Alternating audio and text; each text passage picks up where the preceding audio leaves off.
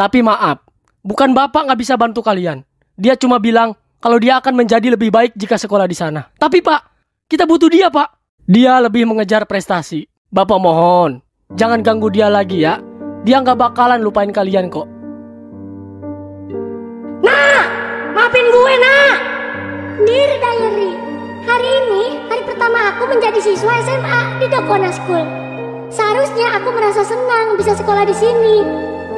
Namun, entah kenapa aku merasa kehilangan sesuatu yang belum pernah aku alamin. Kak Kona, belajar yang rajin ya di sana. Semoga Kak Kona bisa menemukan teman yang lebih baik di sana. Maafin aku ya, aku nggak tepatin janji buat nerima cinta kamu di sini. Ya karena kamu keburu pergi. Sehat-sehat ya Kak Kona, jangan lupain aku. Please, datang ke mimpi aku malam ini, Kak. Yang sabar ya Dinda. Iya, Kak. Udah, jangan nangis. Nggak, maafin abang ya. Andai abang tahu Kona bakal pergi, abang nggak bakal larang kamu deket-deket sama dia. Nggak apa-apa, Bang. Kan aku adek abang. Nah, nah, kenapa lu egois banget jadi orang? Andai lu tahu, nak, betapa si Dinda sayang banget sama lu. Lu malah pergi gitu aja. Dear Diary, hari ini tepatnya satu bulan aku di Dokona School. Dan aku belum bisa lupain kamu, Kak Kona. Nggak tahu kenapa, kamu sulit banget aku lupain. Andai aja kamu ada di sini, aku pasti bahagia. Aku akan lebih semangat lagi belajarnya. Andai waktu bisa diputar lagi, aku nggak akan melakukan kesalahan yang membuat Kak Kona salah paham. Aku kangen kamu. Lah si Peot mana anjir? Lah nggak tahu. Emang kagak masuk? Yah kebiasaan. Ya udahlah, paling masuk angin.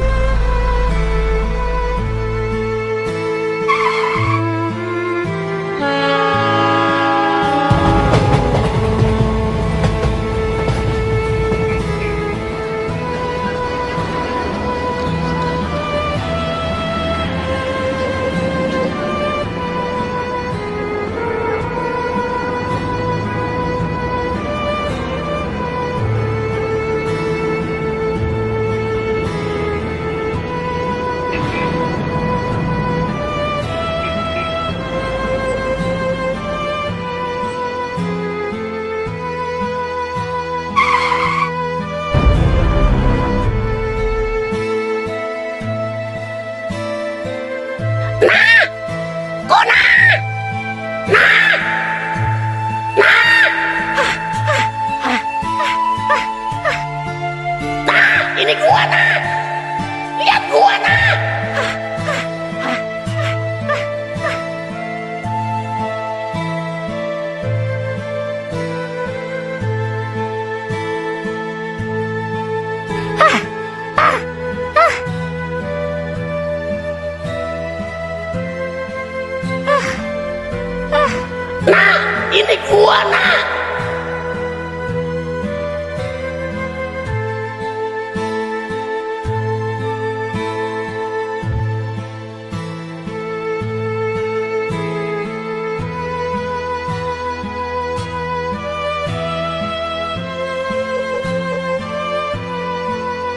Yot, Yot lu ngapain di sini?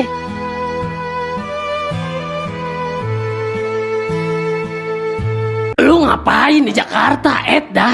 Hihi, gua kangen kata-kata Edda lu, nah. Ya, nih usap air mata lu, lebay banget lu jadi cowok. Eh, Kutil, lu aja nangis di pojokan pas lihat si Dinda sama si Dot. Lu kira gua nggak tahu? Ya, kok lu bisa tahu?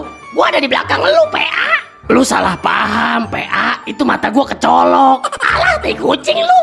BTW ini tisu bau banget, nah. Oh, itu bekas ketek gua tadi. BTW lu ngapain ke Jakarta, Yot? Mau nyuri Monas, eh dah. Gue jauh-jauh datang ke sini cuma demi lu, Kona. Yo, siapa juga yang nyuruh? Lu gak ngehargain perjuangan gua amat lu. Asal lu tahu ya, gua nangis-nangis ngejar lu di bis tadi. Ya, siapa suruh? Ih, Yot, gue boleh ngomong jujur nggak? Jujur, jujur. Nih ya, kalau gue boleh jujur, gue tuh sebenarnya udah lihat lu, Peo. Iya, gue sengaja pura-pura kagak lihat lu, biar lu ngos-ngosan sekalian lari. Nggak lucu, tai. Apa maksud lu begitu coba? Lu kan balap lari kalah mulu sama gua. Hitung-hitung latihan, ya. Tai lu ah, karena ngejar habis lu, tas gua hilang. Tas ini. Sumpah lu ngeselin bangke. Iya. Terus ini siapa yang ngambil? Itu gua suruh kawan-kawan. Ih, Oh begitu ya. Yang model gini lo jadiin lelucon. Duit gua, HP gua, semuanya ada di sini. Gua kelaparan. Ya enak kan lu makan sampah. Sini gua jajalin sampah. Gua masih dendam sama lu. Dulu lu pernah ngasih gorengan dikasih upil dulu kan? Ngaku lu waktu kelas 1. Eh dah. Hihi. BTW tahu dari mana lu? Gua mau ke Jakarta. Bisa-bisanya lu ngeprank gua sampai sini. Nih, lihat status lu di Facebook. OTW Jakarta nih, guys. Nyari si tolol. Hihi. Terus lu langsung intip gua gitu. Ya iyalah, gua tahu lu bakal turun di stasiun Jakarta Kota kan. Ya udah gua isengin aja sekalian sama kawan-kawan. Ya, Gua boleh ngomong sesuatu nggak nak? eh dah dari tadi juga udah ngebacot. Gini nak, ini serius tentang si Adinda. Tiap hari dia nangisin lu nak. Dia pengen lu ada di sono. Dia mau nepatin janjinya ke lu untuk nerima cinta lu yang tulus. Tapi Yot, Op op nak dengerin gua dulu. Apa yang lu lihat di pasar itu cuma salah paham. Otak lu terlalu tolol buat ke arah percintaan kok nak. Gua tahu lu nangis dan pergi ninggalin kita karena lu berpikir si Dot beliin boneka buat si Dinda, ya kan? terus apa? Lu kira mata gua buta, ha?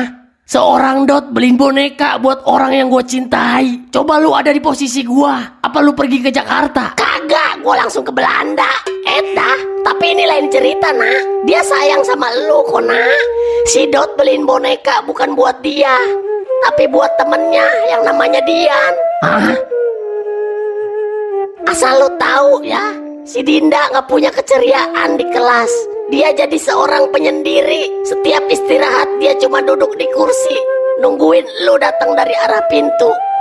Lu pikirin itu, Kona. Jadi dia nggak jadian sama si Dot. Apa lu tega lihat si Dinda yang sekarang? Sorry Yot, gua nggak bisa mempermainkan ini. Gua udah tanggung sekolah di sini. Tapi nah, ada hati yang harus lu obatin. Please Yot, maafin gua. Nah, Nah,